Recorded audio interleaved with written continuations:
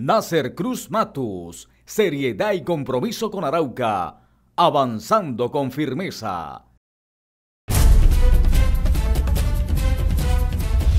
Y los organismos de socorro realizan el censo en la vereda de Barrancones para poder buscar las ayudas humanitarias ante la Unidad Nacional de Gestión del Riesgo. Cuerpo de Bomberos son los encargados. El Cuerpo de Bomberos realiza el censo en la vereda de Barrancones para entregar una información detallada a la Unidad Nacional de Gestión y Riesgo y Desastre para las ayudas humanitarias para las familias damnificadas. Mandaron, enviaron a una persona de la Unidad Nacional de Riesgo. Aquí estamos trabajando con él. Ya pues desde antier hicimos EDAN a la comunidad indígena Sicuani.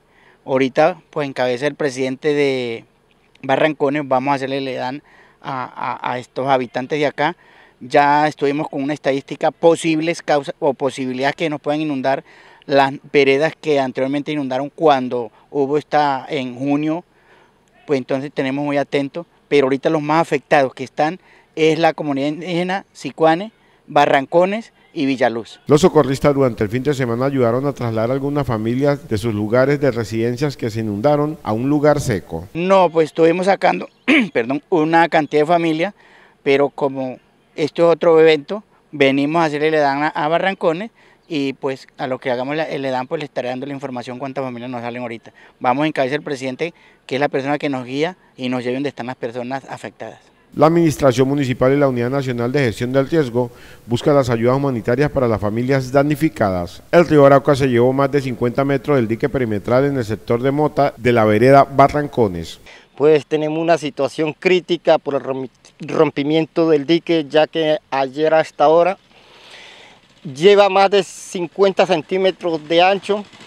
Estuvo la gestión del riesgo analizándolo a ver de qué forma entre el alcalde y gestión de riesgo principio a trabajar de un momento rápido porque las inundaciones ya llegan al 80% en nuestra vereda, así como ustedes lo están mirando. Aquí está bombero, están ustedes mirando que casi toda la parte de donde el gobierno dice que no es de riesgo, en estos momentos somos los que estamos en zona de alto riesgo, que la, la gente que está hacia afuera del dique. Según el líder comunal, si sigue la ruptura del dique, se podría afectar más de 800 familias del municipio capital.